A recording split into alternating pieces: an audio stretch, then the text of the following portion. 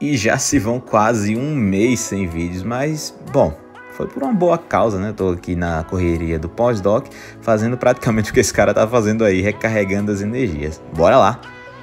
Hoje eu e Sayara estamos indo para Tóquio junto com Renan e Katia Sato, né? Para quem já está acompanhando as postagens no meu Instagram, já está conhecendo a Katia e o Renan. A Katia é amiga de Sayara, também é youtuber.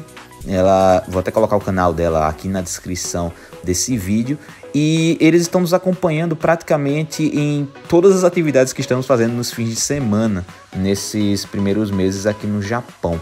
Provavelmente vocês vão acabar vendo eles em quase todos os vídeos que eu postar aqui no canal.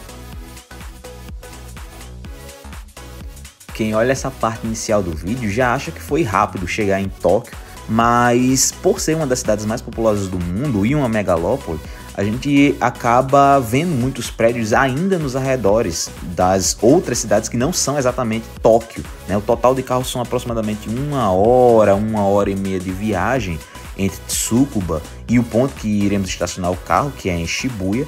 E em certos momentos a gente já começa a ver até a Tokyo Sky Tree, é a torre mais alta do Japão, e no topo dela tem uma área de um observatório que dá para ter uma visão geral da cidade em 360 graus, incluindo até o Monte Fuji, que fica mais ao oeste. Logicamente a gente não ia tentar subir na Tokyo Sky Tree num dia chuvoso, estava bem nublado, e ia ser praticamente impossível de ver alguma coisa interessante, então só decidimos seguir o caminho. Chega um momento que em praticamente toda esquina a gente vai vendo a Sky Tree aparecendo na, no horizonte. Já estamos rodando aqui há umas boas dezenas de minutos e ainda nem chegamos em Shibuya, mas a quantidade de prédios vai só aumentando e é sempre intercalado com vegetação. É uma coisa bem interessante que tem em Tóquio, que a cidade tem diversos pontos arborizados intercalados com esses prédios, né? Então é uma mistura de prédio, túnel, viaduto, um monte de carro, pedestres e alguns parques, árvores, lagos e tudo mais.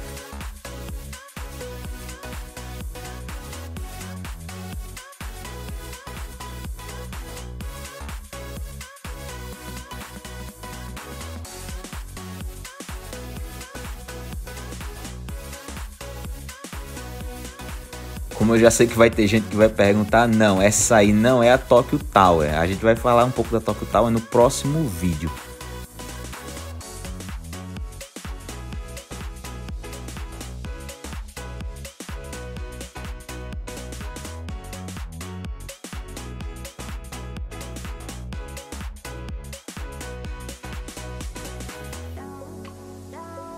Aquela ali também não é a Tokyo Tower, mas o importante aqui que eu quero mostrar para vocês é o Don Quixote, ou Mega Donkey. É uma cadeia de lojas populares aqui no Japão, tem um monte de produto com desconto. A gente tem até um Donkey que fica aqui perto de casa, mas é interessante que lá em Tóquio quase toda esquina acaba tendo um Donkey. E como qualquer cidade grande, tem a galera esbanjando dinheiro. Olha só, carro luxuoso que passou aí do lado da gente, enquanto a gente estava indo em direção a Shibuya.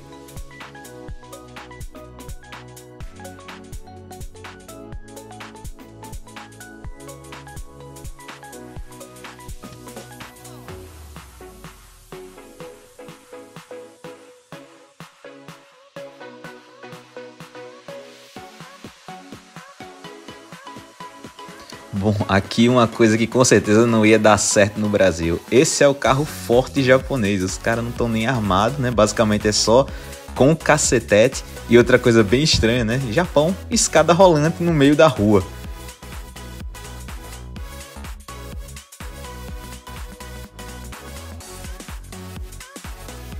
Já estamos quase chegando em Shibuya, nessa parte Aqui a gente já está começando a tentar encontrar um lugar para o estacionamento. Tem um monte de gente andando, um monte de pedestre.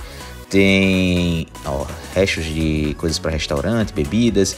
Restaurante em si, né? Então, vários restaurantes espalhados nas pequenas ruas, lojas de tudo que é coisa. Uma combine aqui do lado do Family Mart. E, logicamente, como eu falei, ó, lá tá um Mega Donk, lá no finalzinho da rua. Basicamente, um monte de comércio misturado com carro, com gente Finalmente, então, a gente conseguiu estacionar numa rua bem estranha, literalmente, né? bem estranha, apesar de ter uma, uma arquitetura bem interessante.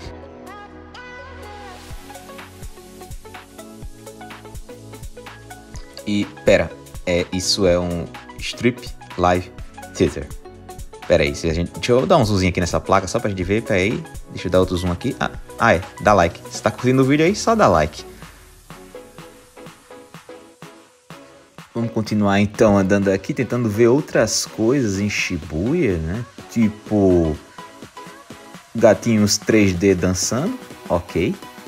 Mario Kart live action, ok também. É, sim, dá pra pagar e andar na rua com um kartzinho, tipo Mario Kart, mas tem que ter, logicamente, a carteira de habilitação japonesa. Olha só que massa isso aí, né? Sinal abriu, lavar os carrinhos, tudo pequenininho, bem da hora.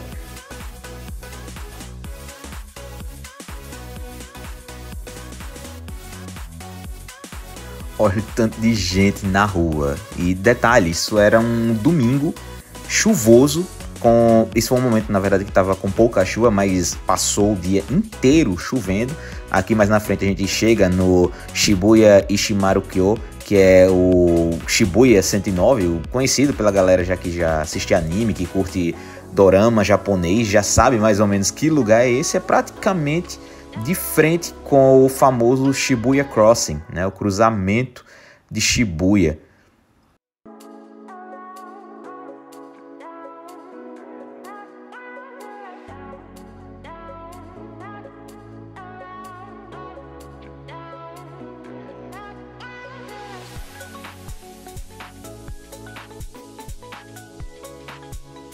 Sim, essa galera toda para passar no cruzamento.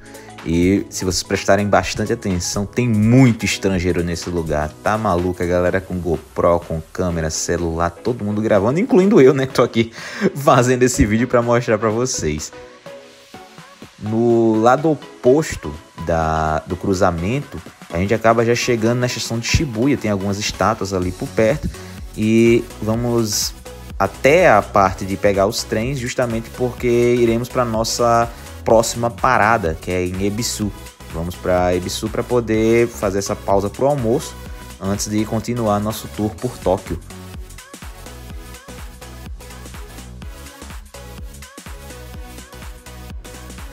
Um detalhe interessante é que os trens eles são extremamente pontuais, então mesmo que eles deem uma atrasada, existem telões indicando quantos minutos faltam para o próximo trem vir, qual estação ele vai parar qual a área que ele vai abrir as portas, então é tudo muito bem indicado, não tem como uma pessoa se perder a menos que você não saiba falar inglês ou ao menos que você não tenha algum tradutor em mãos para facilitar a hora da tradução. Bom, aí é, já na estação de término de onde a gente estava indo, lá para Ibisu, e nossa parada para o almoço é no Shake Shack um restaurante que é bastante procurado, não muito barato, logicamente, mas que vale pela experiência. E nesse período eles estão até com alguns sanduíches especiais à base de cogumelo e um refrigerante de pêssego que é excelente. Vocês podem ver aí na telinha ele falando Let's Get Fungi e aí nossa imagem do sanduíche com as batatas. Essa parte aí é já na saída do Shake Shack, de volta para a estação de trem. Sayara aí bastante felizona com esse caminho que a gente está fazendo depois do almoço. Bom, ir para a estação de trem basicamente é um dos melhores modos de caminhar por Tóquio, porque o metrô é a melhor maneira de conhecer toda Tóquio. Quem quiser vir em Tóquio, eu recomendo que façam exatamente isso. Escolham trechos delimitados para aproveitar cada momento do dia, porque facilita um pouco o deslocamento. No próximo vídeo eu vou mostrar um pouco mais da segunda parte dessa primeira viagem que a gente fez para Tóquio Mata Aimashou, nos vemos no próximo Kurusu Vlog.